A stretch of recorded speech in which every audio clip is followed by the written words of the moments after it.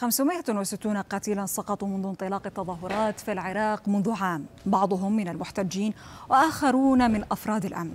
هذه الأرقام أعلنتها الحكومة العراقية ورغم تعهد رئيسها الحالي مصطفى الكاظمي بالتحقيق في مقتل وسجن مئات المتظاهرين.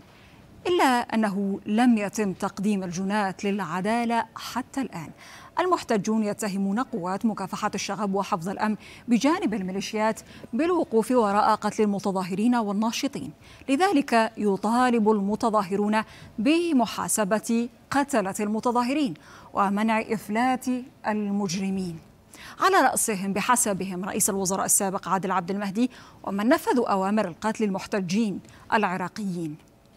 العراقيون لهم مطالب أخرى هي تفعيل قانون الأحزاب وإصدار قرارات حازمة بحق مخالفيه بما يضمن عدم مشاركة أي حزب يملك, يملك جناحا مسلحا في الانتخابات.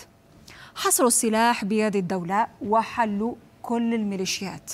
تعديل قانون الانتخابات بما يتناسب مع طموحات الشارع العراقي ومنع تأثير أي كتلة سياسية.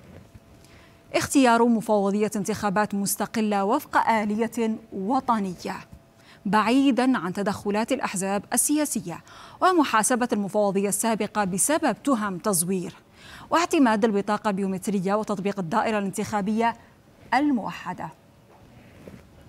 منع التدخلات الأجنبية في الأداء الوطني للدولة والقوى العاملة في إطارها.